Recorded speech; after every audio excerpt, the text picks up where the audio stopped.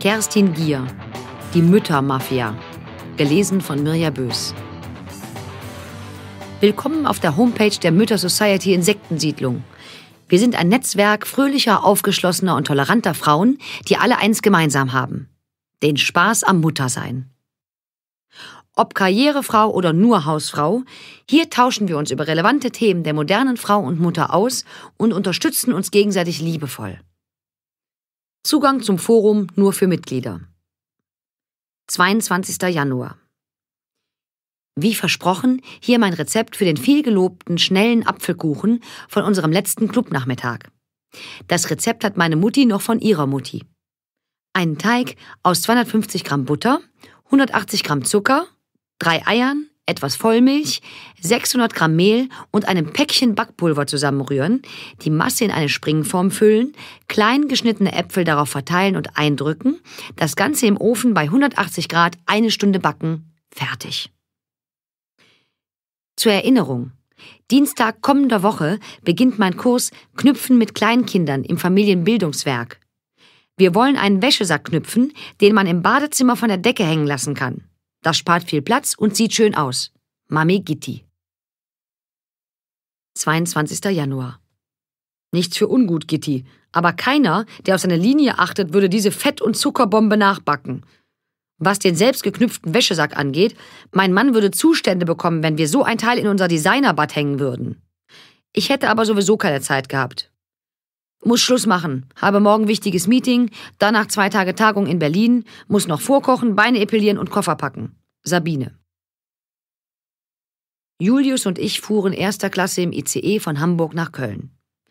Weil nämlich der Spartarif erster Klasse billiger war als der Normaltarif zweiter Klasse, was ich zwar nicht verstand, aber ich war noch nie gut im Rechnen. Außerdem soll man nehmen, was man kriegen kann, wie meine Mutter immer sagt. Allerdings hatten wir keine Platzreservierung und die einzigen nebeneinander liegenden nicht reservierten Plätze lagen mit dem Rücken zur Fahrtrichtung. Statt auf den eingebauten Bildschirm in der Rückenlehne des Vordersitzes schauten wir in die Gesichter von Herrn und Frau Meier mit Y aus Offenbach bei Frankfurt, ei der Klee ist aber süß, wie alt ist denn der?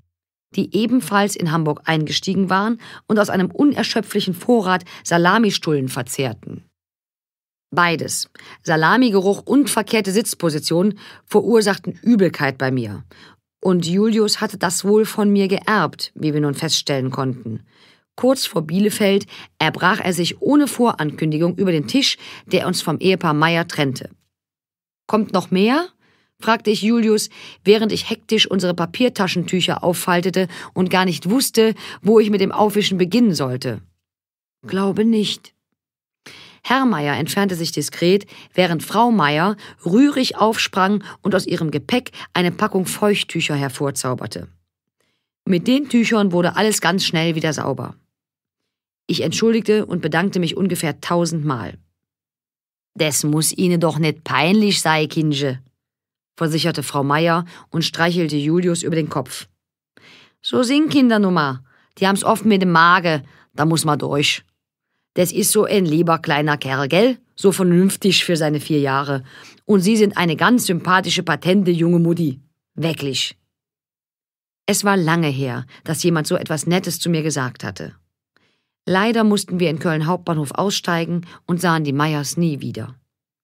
Ich zerrte unsere Koffer und Julius auf den Bahnsteig und kollidierte dabei mit einem circa einen Meter neunzig großen himmelblauen Hasen mit einer Bierfahne.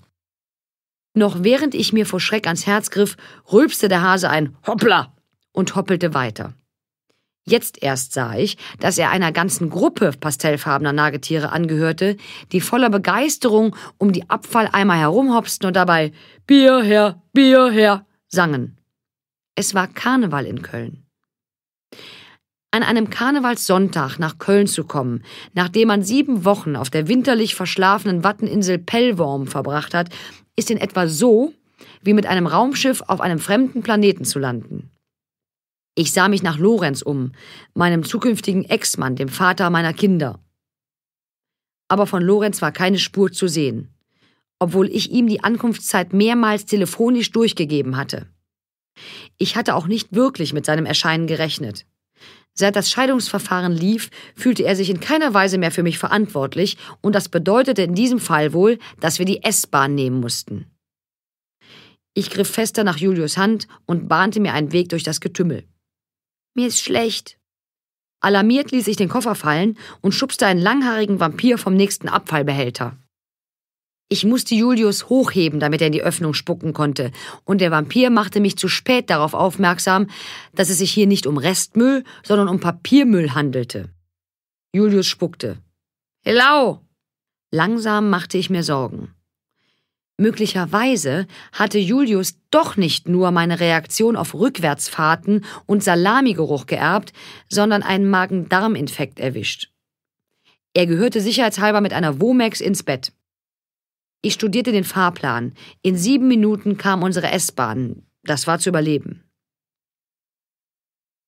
Ein Rentner mit einem gelb getupften Hütchen auf der Glatze rempelte mir seinen Ellenbogen in die Rippen und sagte unfreundlich: Gleis 10, Gisela, und damit basta. Wie oft willst du denn noch nachgucken?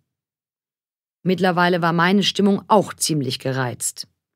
Ich rempelte dem Rentner meinerseits den Ellenbogen in den Bierbauch und erwiderte: auch wenn du mir die Rippen brichst, Karl-Heinz, ich nehme den Zug von Gleis 11. Der Rentner starrte mich verwundert an.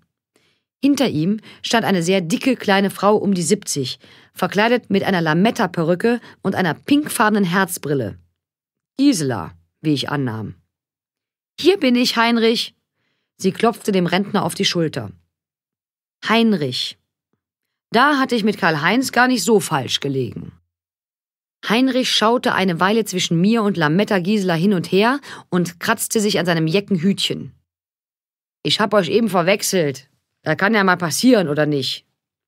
Die S-Bahn fuhr ein und öffnete seufzend ihre Türen. Mir ist schlecht. Leider konnte Heinrich nicht mehr rechtzeitig beiseite springen. Das kann ja mal passieren. Wir wohnten im ersten Stock eines raffiniert sanierten Altbaus. Lorenz und ich hatten die Wohnung gekauft, als Lorenz vor zehn Jahren zum Staatsanwalt berufen worden war. Das heißt, Lorenz hatte sie gekauft. Ich war nur mit eingezogen. Lorenz war sieben Jahre älter als ich. Als wir uns kennengelernt hatten, war ich gerade mal 20 gewesen, im zweiten Semester meines Psychologiestudiums und immer noch völlig verloren in der großen Stadt. Vor allem das Straßenbahn- und U-Bahn-Netz war mir nicht geheuer.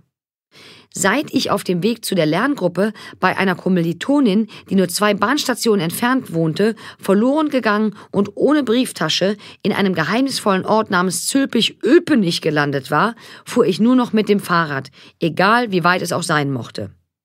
Im Fahrradfahren war ich gut. Ich bin auf der Nordseeinsel Pellworm aufgewachsen. Meine Eltern haben dort einen Bauernhof, überwiegend Milchkühe.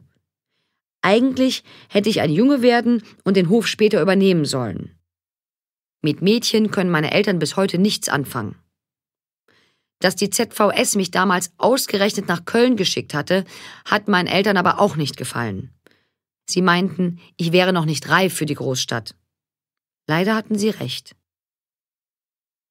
Ich hatte es schwer, mich in Köln einzuleben. Ich sah sehr friesisch aus, groß, hellblond und schlaksig, mit überproportional großen Füßen und Händen. Ich trug eine Nickelbrille, kaute Fingernägel und stotterte, wenn ich aufgeregt war. Um kleiner zu wirken, ließ ich meine Schultern nach vorne fallen und aus demselben Grund hatte ich mir einen schlurfenden Gang angewöhnt. Um den Neuanfang und meinen Erwachsenenstatus zu demonstrieren, hatte ich in Köln gleich als erstes einen Friseur aufgesucht, der meinen meterlangen Zopf abgeschnitten und mir eine pfiffige Kurzhaarfrisur verpasst hatte. Aber die Frisur war nicht pfiffig. Ich bin mir bis heute nicht sicher, ob es überhaupt eine Frisur war. Immerhin war sie unauffällig und schmucklos und passte so hervorragend zu meinen vorwiegend in grau und dunkelblau gehaltenen Klamotten. Ich trug meistens Jeans zu sackähnlichen Oberteilen, bequeme Gesundheitstreter und kein Make-up. Mit diesem Outfit fiel ich im Psychologieseminar auch kein bisschen aus dem Rahmen. Um mein Zugehörigkeitsgefühl noch mehr zu stärken, unterhielt ich ein unglückliches Liebesverhältnis mit einem der Jungs aus meiner WG, Jan Kröllmann.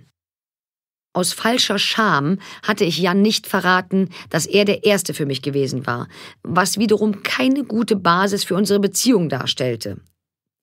Ich war so verschüchtert und verklemmt, dass Jan mich nur nackt sehen durfte, wenn es stockdunkel im Raum war. Also gar nicht. Er betrog mich auch recht bald mit der Freundin einer anderen Mitbewohnerin, die, wie er sagte, das bequemere Bett hatte. Da die beiden es aber nicht nur im Bett miteinander trieben, sondern auch auf dem Teppich im Flur, in der Badewanne und auf dem Küchentisch, vermutete ich ganz stark, dass sie außer dem Bett auch noch andere Vorteile mir gegenüber hatte. Ich war kurz davor, mein Studium hinzuschmeißen und zurück nach Pellworm zu gehen, um dort bis an mein Lebensende Kühe zu melken. Glücklicherweise lernte ich genau zu diesem Zeitpunkt Lorenz kennen und überdachte die Sache noch einmal. Ich überfuhr Lorenz ganz romantisch mit meinem Fahrrad. Er stand mitten auf dem Radweg. Bis zum letzten Augenblick dachte ich, er würde zur Seite springen, denn ich klingelte wie verrückt und machte scheuchende Handbewegungen. Aber Lorenz war so sehr in seine Akten vertieft, dass er mich weder hörte noch sah. Ich wich im letzten Augenblick auf den Gehweg aus, aber dort kam mir ein anderer Radfahrer entgegen, der Lorenz ebenfalls hatte ausweichen wollen. Wir kollidierten alle drei. Es war ein Wunder, dass sich niemand ernstlich verletzt hatte, von den Schürfwunden, die ich davontrug, mal abgesehen. Lorenz sah freundlicherweise fast sofort ein, dass er an dem Unfall die Hauptschuld trug. Er wartete, bis der andere Radfahrer fluchend weitergefahren war, dann lud er mich zum Essen ein. Heute denke ich, dass es purer Zufall war, dass er mich eingeladen hat.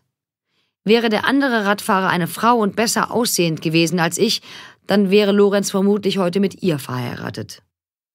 Er hatte damals nämlich beschlossen, dass es nun Zeit sei, sich ernsthaft zu binden.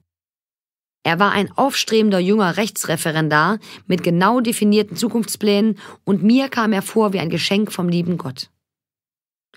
Unter seiner Regie musterte ich meine sackähnlichen Oberteile aus, kaufte mir eng anliegende T-Shirts, fand Gefallen an Pumps in Schuhgröße 41,5 und tauschte schließlich sogar die Nickelbrille gegen farbige Kontaktlinsen. Derart verwandelt stellte mich Lorenz ganz stolz zuerst seinen Freunden und dann seiner Mutter vor. Dass er mich der Öffentlichkeit erst nach meiner Typveränderung präsentierte, hätte mich misstrauisch stimmen müssen, aber ich war verliebt. Endlich mal ein Mann, der wusste, was er wollte. Mich. Ich konnte gar nicht schnell genug bei Lorenz einziehen. Fast genauso beeilte ich mich damit, schwanger zu werden. Das allerdings war keine Absicht. Immerhin. Als Lorenz von der Schwangerschaft erfuhr, machte er mir einen Heiratsantrag. Und als meine Eltern von dem Heiratsantrag hörten, luden sie uns beide nach Pellworm ein, um die Auswahl des Kinderwagenmodells zu diskutieren. Ungefähr acht Monate später wurde unsere Tochter Nelly geboren, später Julius und für 14 Jahre war alles in bester Ordnung. Ich hatte das Studium an den Nagel gehängt, meine Kinder großgezogen und mich bemüht, mein Leben mit den richtigen Dingen auszufüllen. Den richtigen Büchern zum richtigen Party-Smalltalk, den richtigen Schuhen zum richtigen Kleid, den richtigen Urlaubsziel mit den richtigen Freunden, den richtigen Gerichten zum richtigen Anlass und dem richtigen Umgang mit der richtigen Putzfrau.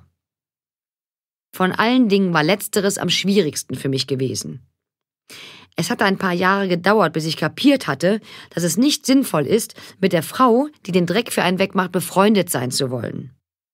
Frau Klappko, die erste Zugehfrau, mit der ich mich nicht duzte, putzte, bügelte und staubsaugte nun schon seit fünf Jahren für uns, und dank ihr sah unsere Wohnung immer so sauber und aufgeräumt aus, wie für ein Einrichtungsmagazin fotografiert. Bei uns lief also alles richtig. Bis mein Mann vor vier Monaten plötzlich und unerwartet die Scheidung verlangt hatte. Der Abend hatte wie so viele andere begonnen. Lorenz hatte Überstunden gemacht, ich hatte die Kinder ohne ihn ins Bett gebracht, ihm dann sein Abendessen aufgewärmt und bei einem Glas Rotwein mit ihm über den Tag geplaudert. Und mittendrin hatte er ohne weitere Einleitung verkündet Conny, ich möchte, dass wir uns scheiden lassen. Es hätte nicht viel gefehlt und ich wäre vom Stuhl gerutscht. Fassungslos starrte ich ihn an und überlegte, welchen Teil des Films ich wohl verpasst hatte. Hallo? Hört mich jemand? Währenddessen unterbreitete mir Lorenz seine Pläne, mein und sein weiteres Leben betreffend. Selbstverständlich bleiben die Kinder bei dir. Dafür behalte ich die Wohnung, allein schon wegen der Nähe zum Gericht. Ulfi wird den ganzen Finanzkram für uns regeln. Darüber müssen wir uns nicht den Kopf zerbrechen. Aber ich dachte, dass es schön wäre.